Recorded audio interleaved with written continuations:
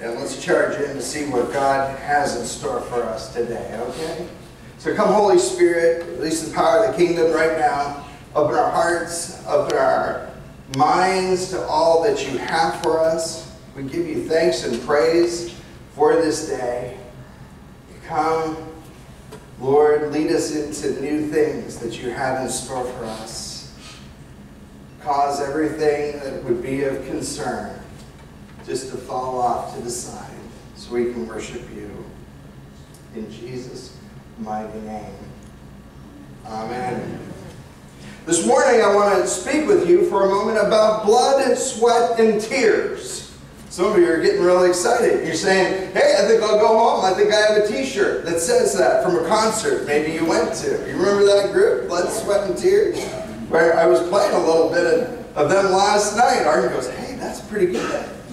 Where did you get that? Blood, sweat, and tears on Memorial Day.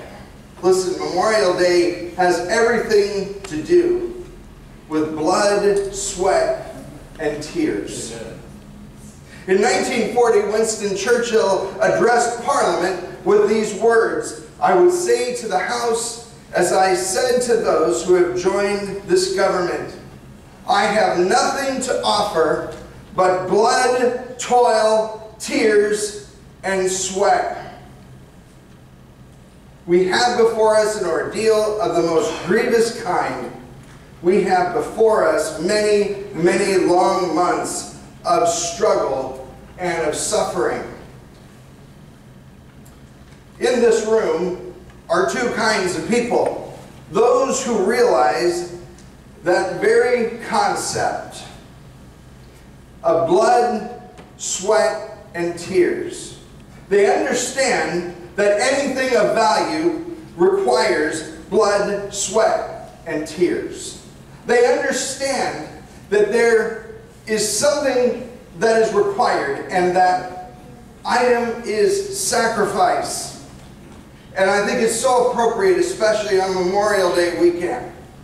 I know we want to get going and we're excited about, uh, you know, it's the unofficial kickoff to summer, right?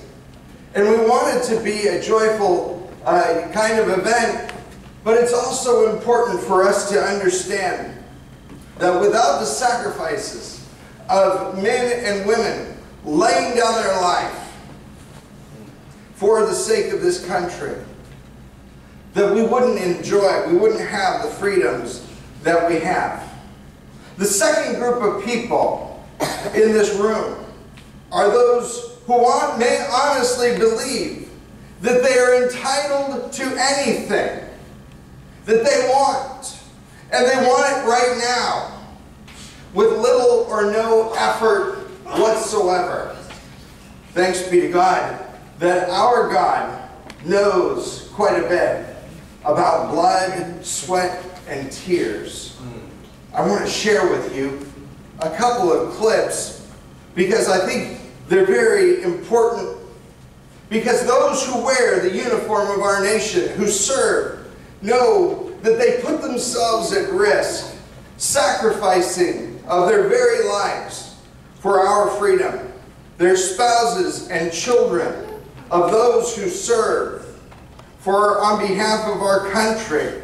Know that when they say goodbye to their loved one before they ship out or as they set, are sent out, that they may never see their husbands or wives, their moms and dads and that, my friends, is the risk of sacrifice.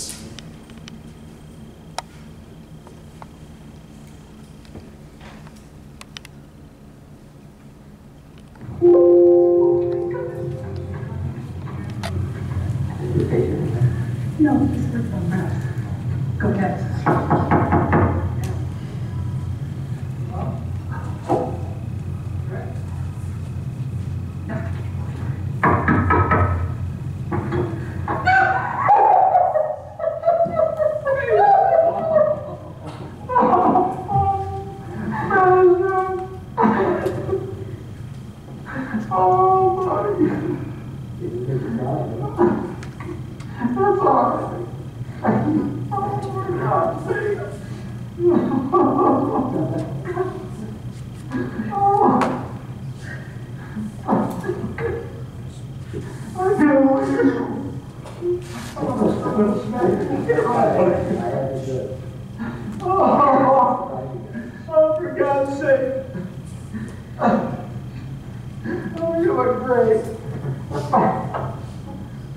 This meeting is over. Thank you for your service. Welcome home, buddy. You bet. Nice to meet you. We'll meet you again. Okay. I'll meet you there. That's all. Oh. Oh, take her. It's hard to, it's hard to lie to you guys. I bet. Yeah, it was probably easy. I didn't have any problem you. Yeah, no kidding.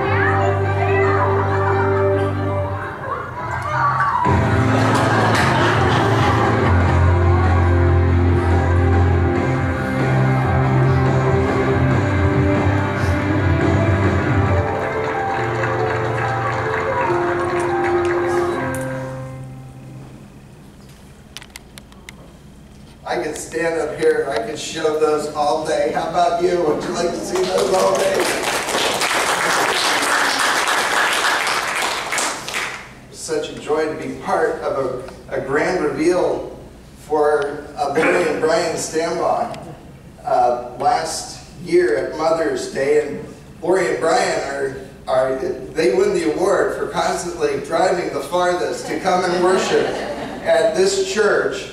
And uh, you guys were, we were able to surprise you when your son came home. That was such a joyful event. Isn't that exciting? Could we just say thank you to them for their sacrifice, also for sacrifice? I'll tell you what, that was hard to keep keep silent. And uh, but what a what a joyful joyful thing. Their son now is married, has a son, has a has a daughter, and they're so excited about that. It was fun that Apostles Lutheran Church could be part of that. We are your family. And you are part of our family. And yes, you do win the award for driving the farthest, all the way from Pennsylvania down here. And I was asked, why do you do that? They still say, a church alive is worth the drive. Amen? And, and you thought Moyock was a, was a ways away, huh? I'll tell you what. The, uh, the sacrifice that folks make. Today we honor those who have perished for our freedom.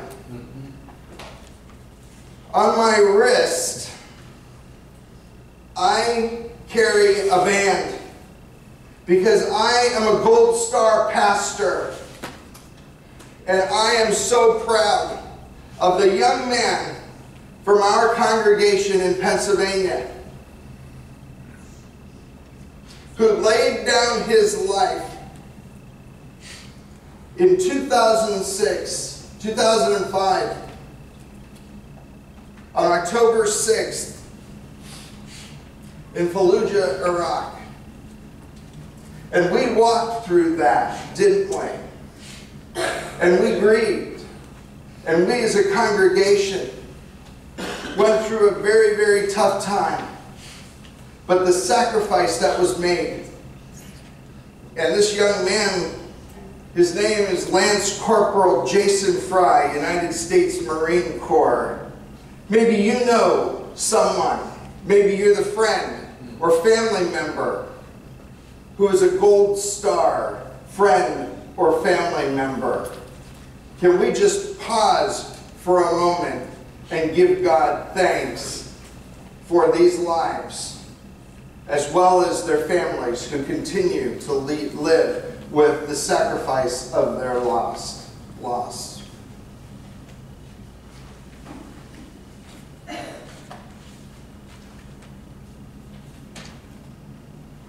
No words, Lord, can ever express the depth of sorrow or gratitude that we express to you and to those who have laid down their lives for our very freedom. In Jesus' name, amen. This morning, in Jason's memory, I have put a little gift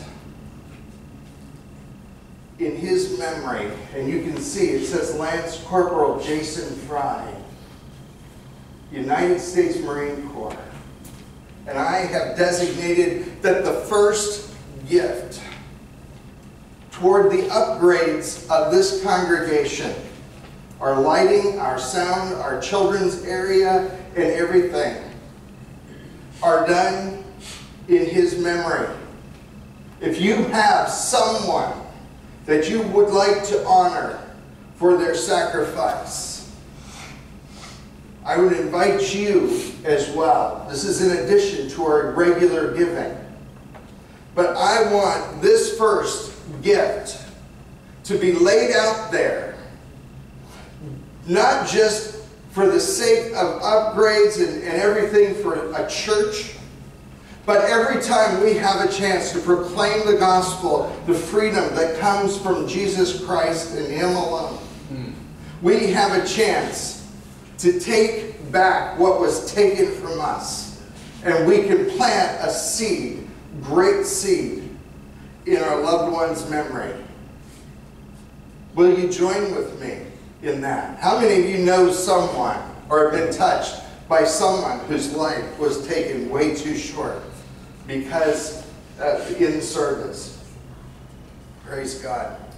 For those of you who have served and for your families, the sacrifices that they have made along the way, knowing that when they send you off, that they may never ever see you again. I want you to know that this house respects your sacrifices and all that you have done. And I want to say publicly, thank you to the men and women who wear the uniform of the United States of America. I invite those who have served to rise for this honor you.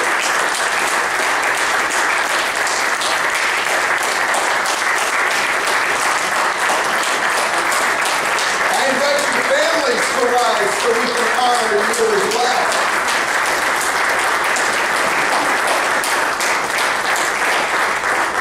Praise God. Thank you. You understand what sacrifice means. Any great accomplishment requires sacrifice. It will cost you your blood, your sweat, and even tears. Some kind of effort on your part.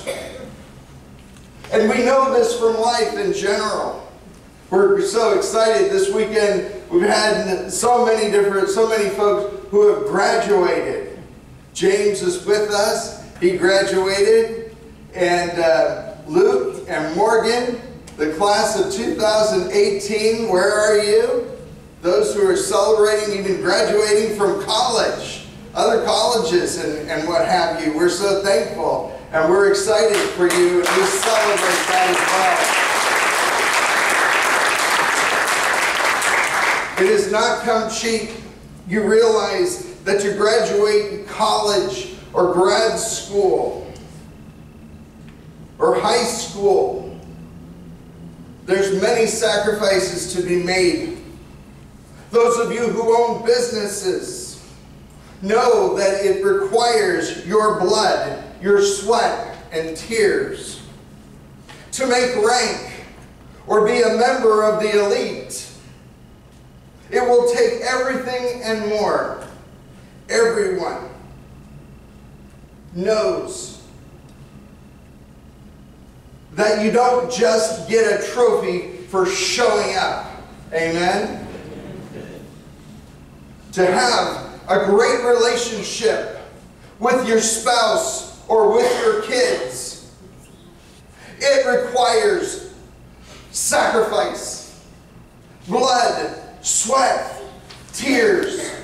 How much are you putting into your relationship with your loved ones?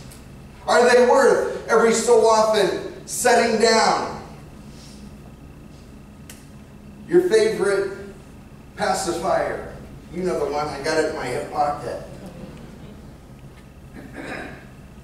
You know, it's amazing how folks have forgotten how to communicate with each other.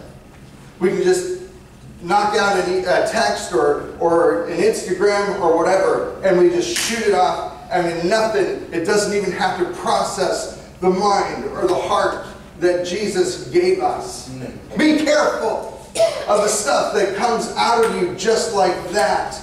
And it's so easy for us to lose track of what it is to deeply communicate in a caring way and to communicate with others that we enjoy their company and their presence. To have a great relationship requires sacrifice. In Luke chapter 22, verses 39 to 46, Jesus Christ himself modeled what sacrifice was when he was there and he was getting ready to go to the cross. He said, not nevertheless, not my will, but yours be done. As he surrendered himself to his Father and to the cross. And the Word tells us that when he got down to pray, that his blood, that his, his sweat literally became blood. Why did he do it? He did it for you and for me, didn't he? Blood. Why blood? Because life is in the blood. Leviticus tells us that there is life in the blood. We've gotten away from singing so many songs about the blood of Jesus. Do you remember when we'd sing, There's power in the blood? How many of you were raised in a church where you sang, There's power in the blood? When was the last time we sang about those things? There's power, wonder working power in the blood. And the blood will never lose its power. Oh, wow. There's another wonderful song. There's life in the blood. And what the scripture says, without the shedding of blood, there is no forgiveness of sins. Why? Because you bleed for what you believe in. And I have to tell you, when Jesus began to pray, and he began, his sweat turned into tear, it turned into blood. He didn't bleed for the environment. He didn't bleed for the trees. He bled for you. He bled for me. He bled for those he believed in. Friends, he believes in you. Do you realize that the very lifeblood of royalty flows in your very veins? We have this funny habit wherever we go, we bring our blood with us. Have you noticed that? And what we put ourselves into, our blood goes along with us. Yesterday, I don't know how this happened. Well, I know how it's happened. I was walking in the movie theater. I was going to see, uh, what was it, Han Solo. Okay? There's a shameless plug.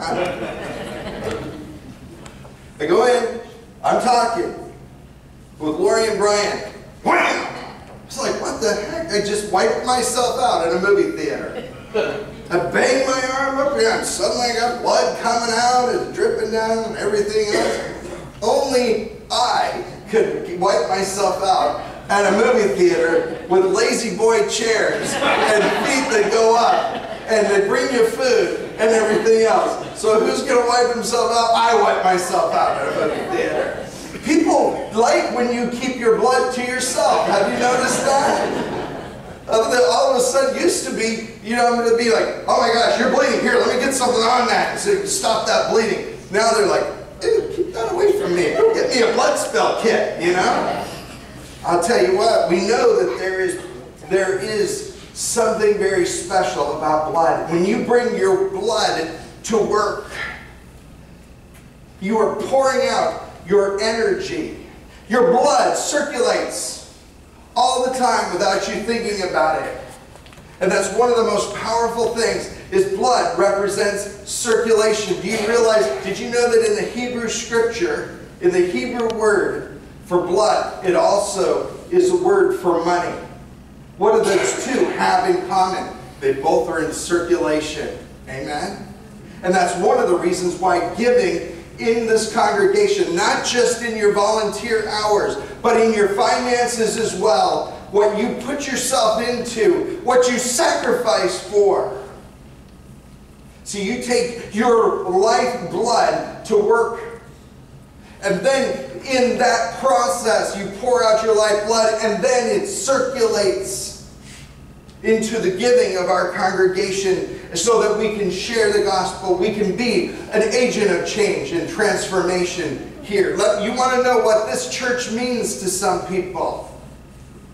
Don't ask, just ask the, the person who will tell you that their life was changed. Imagine all the lives of other people that are changed because you have encountered the life force of the gospel, the lives that you touched. Your sweat. Work is difficult. It's challenging. I had a chance this just this past week. Had somebody who was going, oh, it's work. It's oh my gosh, I just gotta go to work. I gotta get up in the morning. I gotta go blah blah blah blah blah. I said, listen, there's a reason why they call it work. There's a reason. It's because that's what it is. It's work.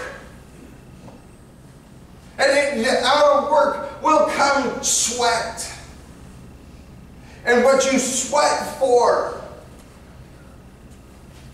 gives you meaning and purpose and great joy. Give God thanks and praise for AC. Amen. Amen.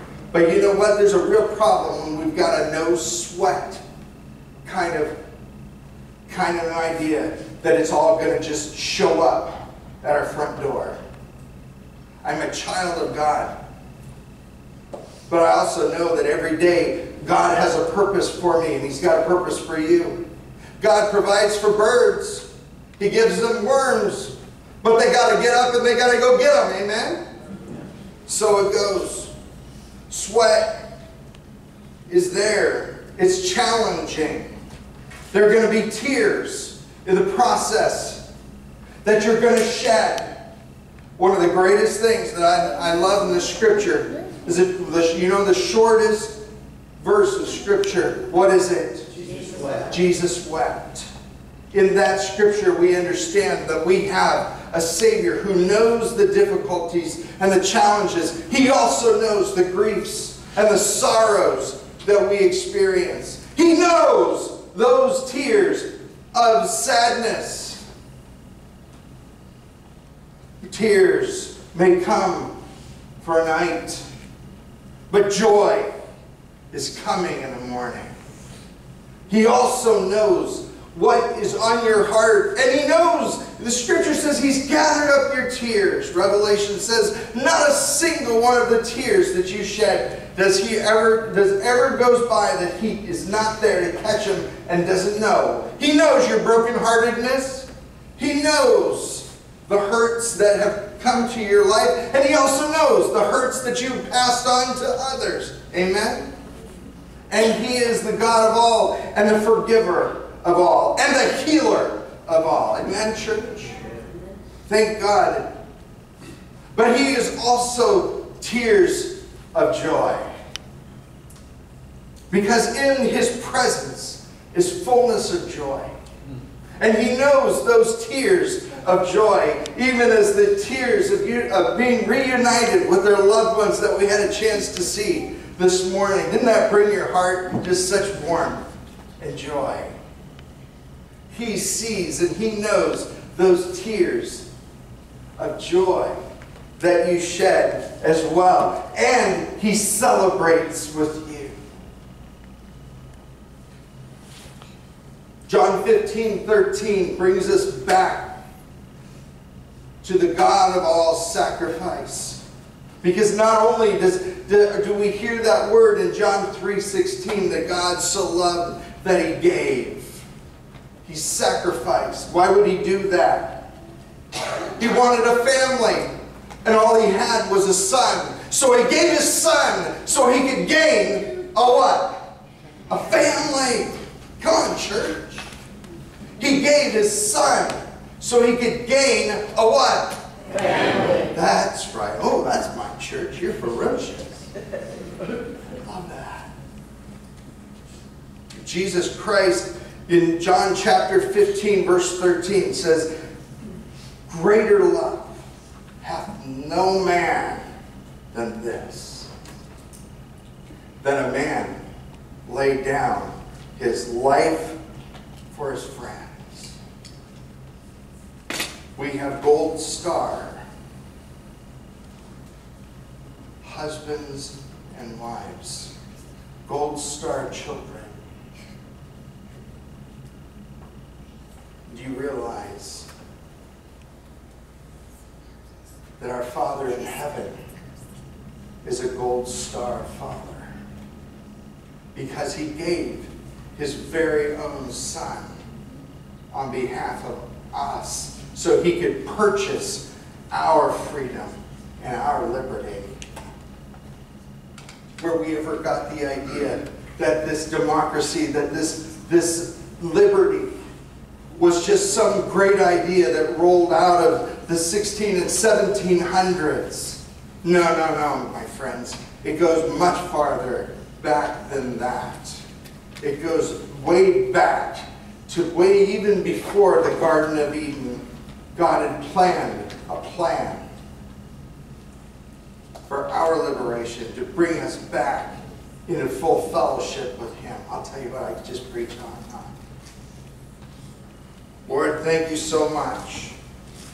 Who are we, Lord? Every time we try and hold some kind of bitterness or unforgiveness in the face of your forgiveness, in the face of your mercy, who are we to hold on to grudges? And yet we do it all the time. Lord, in your mercy, hear our prayer. Lord, for those who have given their lives and for their families, we give you thanks, but you are the ultimate veteran who has laid down his life so that he could take it up again. To you be all honor and praise. Amen. Amen.